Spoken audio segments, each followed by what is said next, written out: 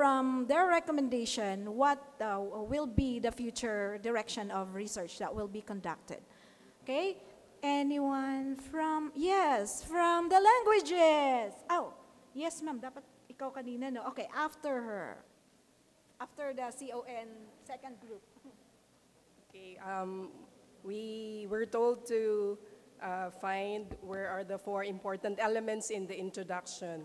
So the title of uh, the, the article that was assigned to us is uh, Attitudes of Saudi Nursing Students Toward Nursing Research by Jehad O. Halabi.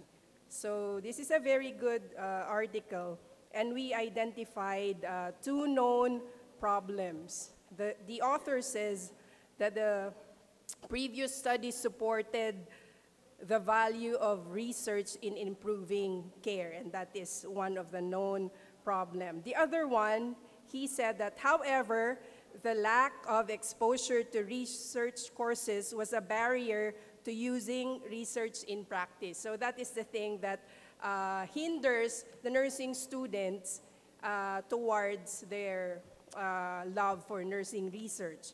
Now, another known problem is uh, stated as, however, literature reported that BSc students were not adequately equipped to analyze research studies or to use the, the re results in practice. So they don't know how to use uh, the results of their researches into their clinical practice. Now, we know that the unknown problems is other known as gaps. And uh, the author said that the lack of studies was located to date on the attitudes of Saudi nursing student toward nursing research.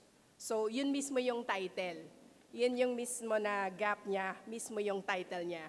Uh, the lack of such information prompted the researcher to conduct this study since insight into students' attitudes will assist their facilitators to promote interest in conducting research and utilizing results among students. So the purpose of the study, uh, the author said that he has to investigate the attitudes of these nursing students toward uh, research at the College of Nursing located in three campuses which are affiliated with the Health Sciences University in three regions of uh, the Kingdom of Saudi Arabia. Furthermore, the study determined whether demographic and educational background characteristics influence students' attitudes toward research. And lastly, after investigation of such, the, the author said that the results of the study would be used to propose some suggestions and strategies to promote the students' interest in research. So this is something to do with the conclusion of the study. Ano yung recommendations natin? Ano yung maitutulong natin as a social responsibility to the community or to the local where we did the studies? Because the study because they are to be the sole beneficiaries of the results and findings of the study that we did in a particular uh, locale. Thank you.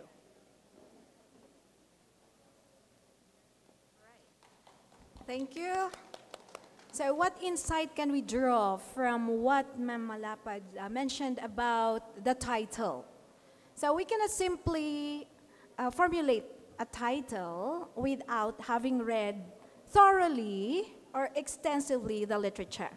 So only then can we propose a title if we have thoroughly read the literature and uh, we're able to point out or establish the gaps. Okay, ma'am Kathleen.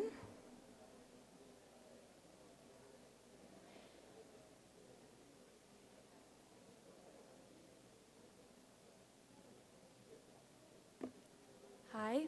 The study assigned to us was entitled, is entitled Enhancing the Interpretability of the Overall Results of an International Test of English Language Proficiency. So in this case, the study focused on TOEFL Junior, test of English as a foreign language. Basically, uh, what this study is about is how can they help uh, make it easier for those who are interpreting and taking the exam to see uh, what do their scores mean. So what is known here is that oftentimes when we take scores, like for us, when you take an English score, there are different modalities, reading, speaking, listening, writing, uh, grammar, comprehension. What is easy is that uh, you see the scores. But the, uh, and most descriptors only describe how do these uh, testers do in reading, in writing, in specific language modalities.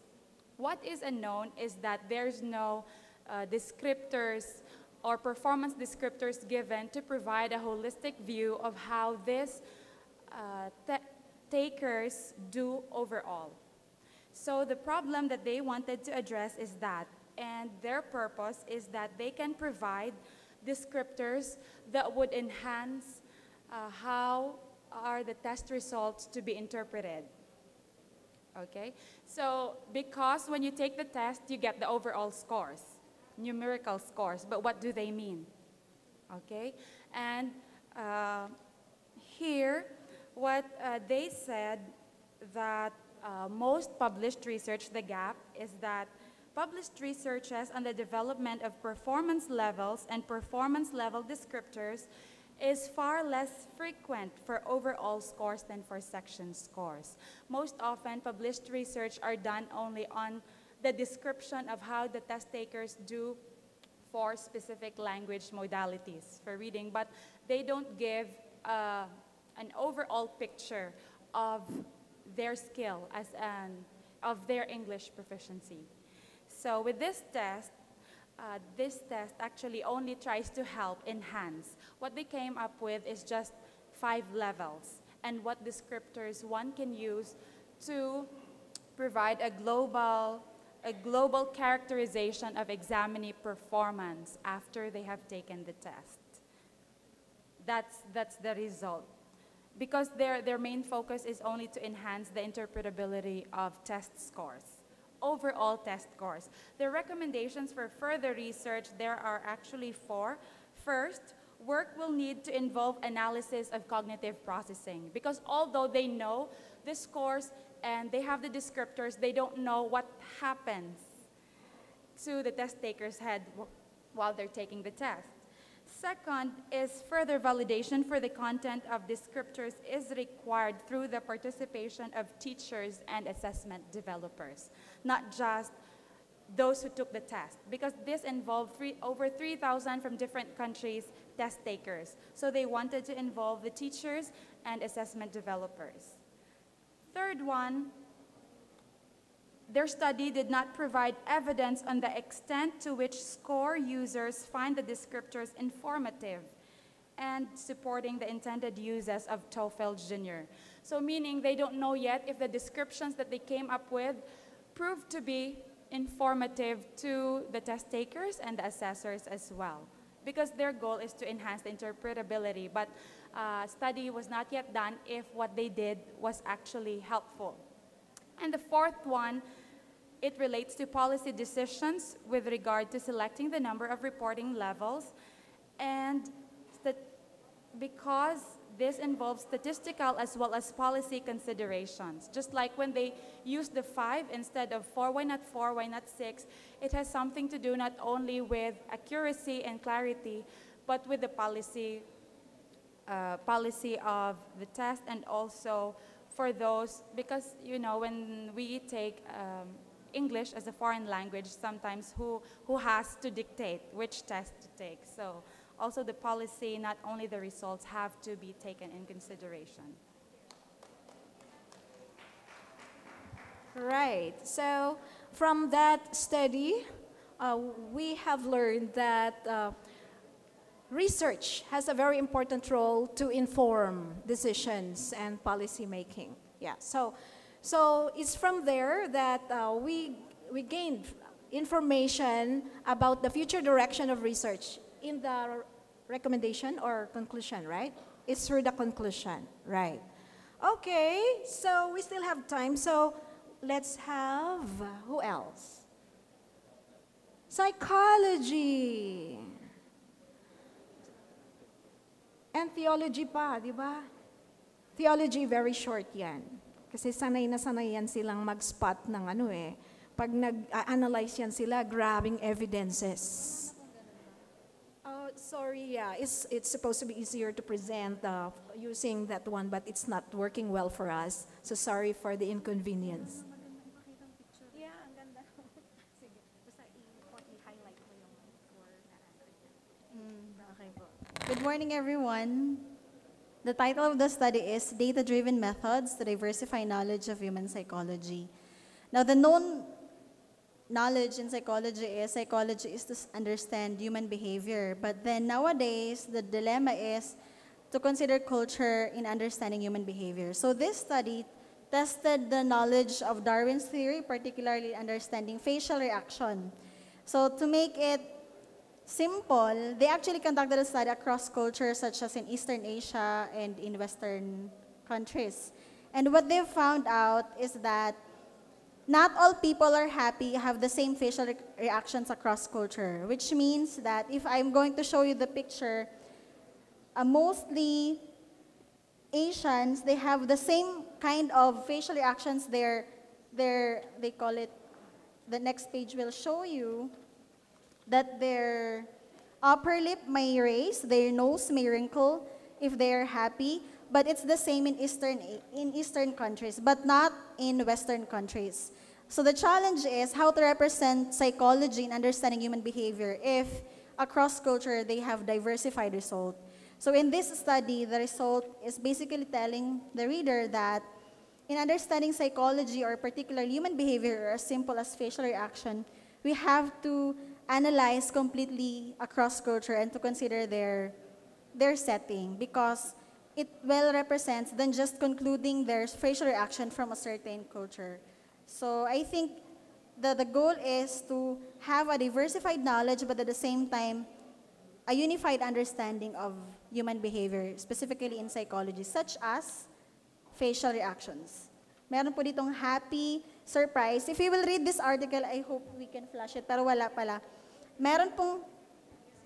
Ayos. Ah, the techniques they, they used is the integration of physics. So they used the knowledge called psychophysical method, which I'm not particular. The physics, because they use psychophysical methods, uh, it says here, the psychophysical methods aim to measure the parameters of a stimulus, such as vision, hearing, taste, or touch, in relation to their emotion. So if you're happy, is it seen in your facial reaction that you're really happy? If, you're, uh, if you cannot understand, is your facial reaction uh, visible or clear that you cannot understand? Does it show? So this is the, that's the problem. So they used physics to help us understand the facial reaction, psychophysics. Okay na po ba?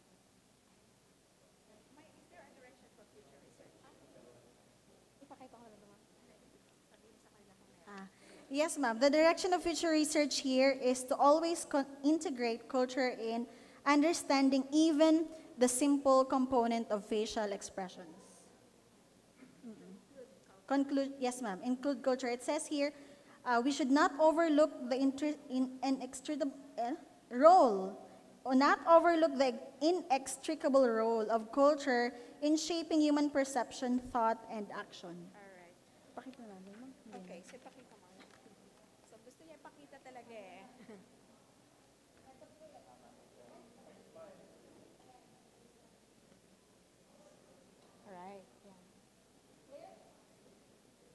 Hello. Their study is very interesting because it says here, not all people are happy have the same facial reaction, right? Or not all people are feel fearful have the same facial reaction. So if you notice, the ones with blue color, it represents Western countries. And the one in red color represents Eastern countries. Now, uh, I wish I have a laser. But then, the happy face, very little lang siya sa Western, pero medyo, medyo a little bit madami sa Eastern. Now, look at the facial reaction of someone who is afraid or fear. Now, the facial reaction of Western, which is representative ng blue, konti lang po siya, if you noticed. Right? Which means, hindi talaga siya, based kasi sa studies, Western people have that kind of facial reaction. but it doesn't represent the Eastern culture. So the challenge is to unify the diversified knowledge. So therefore, adapt and consider other culture in understanding even facial reactions. Okay. Ayan po. All right. Uh, if I may ask you, what the what element in the PICOT's framework oh, did you identify? Okay, PICOT's Yes population is it We the, have is it a gap of population, gap of outcomes? I guess from the gap of testing knowledge, or specifically the previous knowledge theory, they mentioned here Darwin's theory. So, So they tested Darwin's theory. It's from different intervention. Yes, ma'am. So it's a different intervention that was used. Yeah. So because if you will be able to identify the kind of gap, uh, it will be really systematic. It shows systematicity. Yeah. Uh, the system. All right. Thank you from psychology, Ma'am Myrtle. And uh, who else? uh, music or theology. Yeah, theology tinawag natin kanina. They have, I think, a book review or so even book reviews and the article or or um, literature reviews have to establish research, research gaps as well. So you may use that one to identify your notes. Yan, pa- Pastor. Yes. Pwede na po. Yan, ayos na. Yan, yung notes nila. Yeah, please tell us the strategies you used in identifying those parts. Uh, what, what were your clues in saying that this is uh, the gap or this is the problem? Actually, the problem here is a problem about interpretation of the Bible. All right?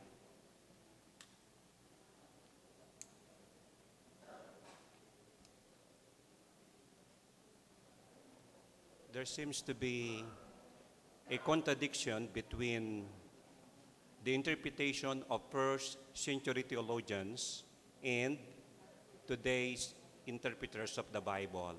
They have actually parang fall away from the original way of understanding the Bible in such a way that the message of salvation right, in such a way that the message of salvation were being presented in a much different form than actually depicted or described in the scriptures. Parang ganito kasi, mas malapit, di ba? Mas malapit. Parang mas first century interpreters, okay, they have a better way of understanding the Bible. Uh, there's a line of idea going, going back from the first century up to our, uh, up to our time, uh, in our time. The word actually is historical. The approach of the early theologians and scholars, historical approach. All right? But the problem is, in the interpretation of the Bible, there was a shift, a change. So from historical,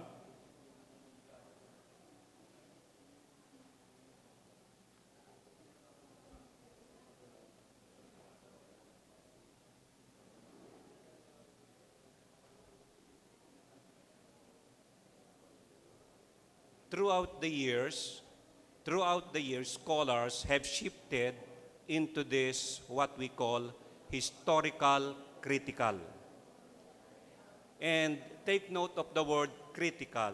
Here in the interpretation of the scriptures, they have actually focused on scientific method. This was influenced by what we call enlightenment. All right?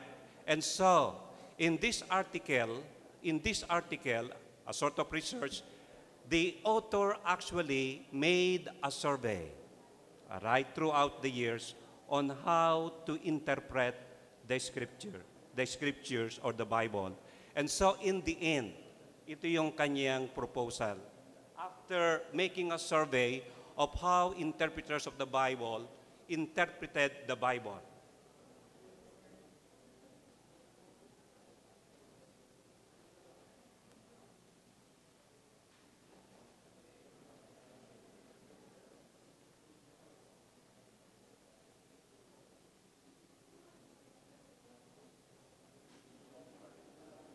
In the summary, in the conclusion, he reiterated the purpose of this article. Take note of the word socio- social, historical worldviews. Socio-historical worldviews in interpreting the Bible. Again, the word historical. But take note of the word social. Perhaps you'll be asking, what actually is the position of the Adventists in interpreting the Bible? Our position is historical grammatical. Though this is quite close because this is social historical worldview, this is a kind of biblical interpretation by which it is not the main source but based on people, anthropological way of understanding the Bible. This is very much contextualized. So that is actually the purpose of this author, and he's trying to call theologians and biblical scholars to, to dialogue and to convene together so that they can come up with this kind of interpreting the Bible. Okay? And that is social, historical way of interpreting the Bible. But again, though this is quite good than historical, critical, ours actually is historical, grammatical.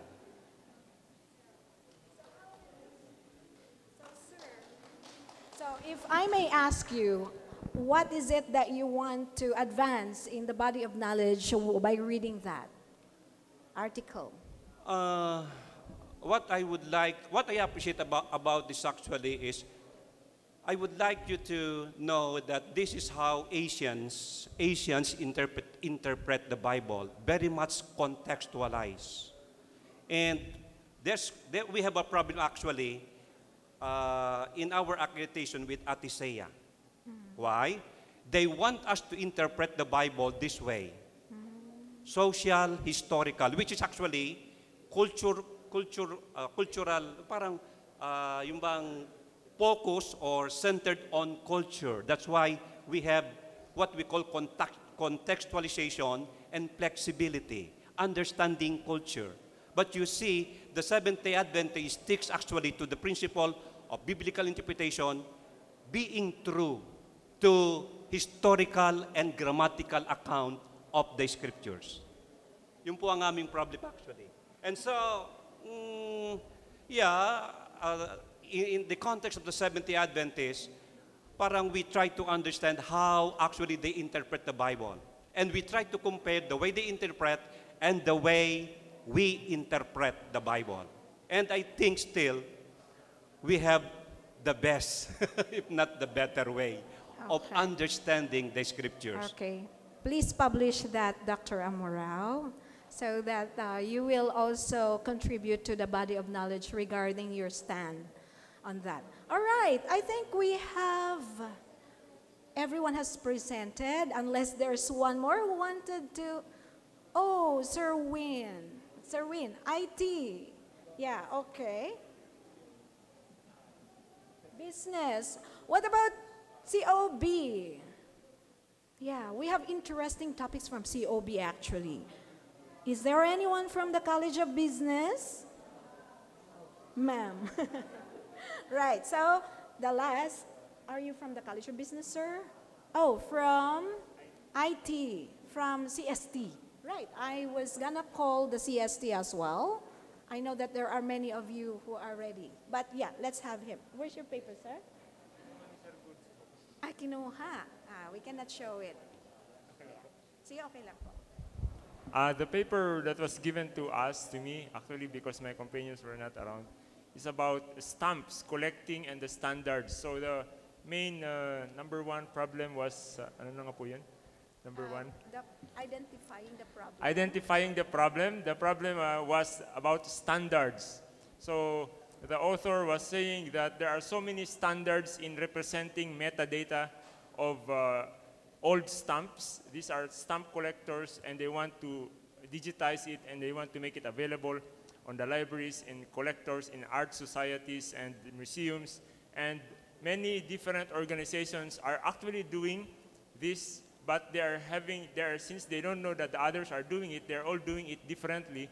And the problem is that the standards, so when you browse the other collection, you browse the other collection, you browse the other collection, there are different ways of looking at it. And so that is the known. The known is that you, there are many standards existing. The unknown is how to make them compatible or how, how to make them all uh, uh, share each other's knowledge. And uh, the, the solution that uh, is possible is to create another standard. But in the IT world, the nice thing is, may kasabihan na, the nice thing about standards is that there are so many of them to choose from. Therefore, creating another standards will just create another more standard. But anyway, uh, in the IT world, the standards also help even competing companies. They create standards so that they can interoperate. But these are art societies. They are not competing. So there is more probability that they will agree on a standard so that uh, they will all benefit from sharing information with each other. Yun lang po ang naintindihan ko sa paper.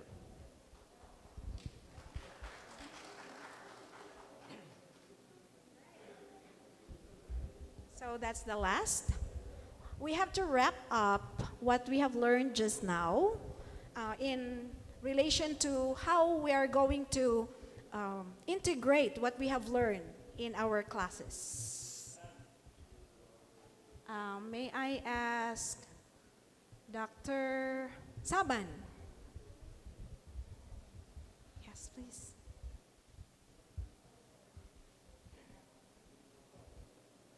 Time. Last. Wrapping up. Especially on how we can integrate our learning today in our classes. Especially in the graduate school.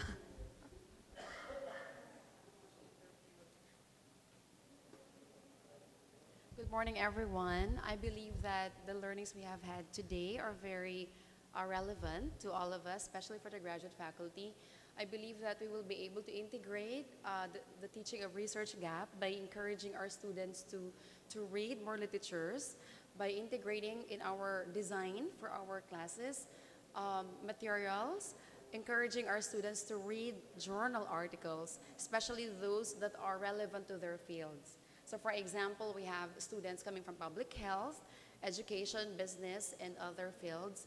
Uh, we can encourage them to, to read more studies because it, it would be very difficult for them to come up with, with titles and problems, and much more identifying research gap if they are not well read.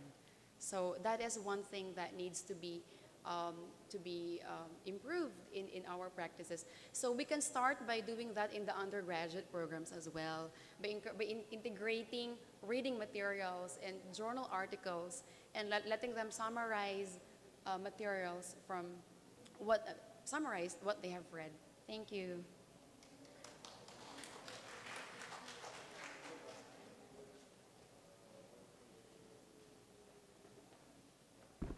Thank you very much, Dr. Aclan, for that um, timely and presentation of, of research gap. I hope we will be using that. We will be using that in the, our, our future uh, uh, topics. Now, as, you notice in our program, we, the next topic is research design.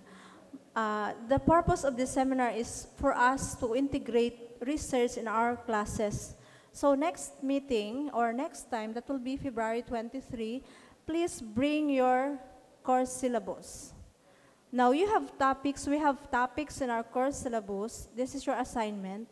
From that topic, you identify a, a research topic or a problem that we can um, work as research, so research topic.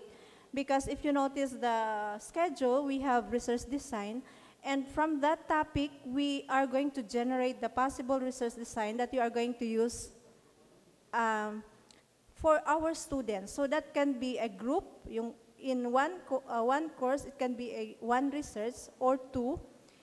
Or in the graduate school, we can have three. It depends. So we are going to facilitate what are the type of designs you can use or possible that you can use in, in that topic. So yung medtech, eh, uh, other other courses, you bring to us here our topic and we will try to help each other, yung brainstorming. And then, so notice we have research design, then instrumentation. From that topic, we are going to develop a, a research paper. We are going to uh, teach you how to make instruments under instrumentation. So tuloy-tuloy. And then we will be teaching you how to analyze the data. We can assist you. And at the end of this um, research enhancement seminar, we'll have a paper that will be, um, you, we, will use an IMRAD format, a publishable paper for us to publish. So, sunod-sunod ito. So take note, you are going to develop your own topic. We are going to have our brainstorming here. We are going to identify the different designs that you can use. And supposedly, uh, hoping that that design is feasible for one SEM. Kasi yun lang yung kayang gawin ng estudyante. So that is the purpose of this seminar. Not, not writing a thesis, but integrating research in our classes. Yung simple lang that can be uh, pwedeng i-implement for one SEM, not for one year or two years kasi that's the purpose why we are here today. God bless and uh, happy Sabbath.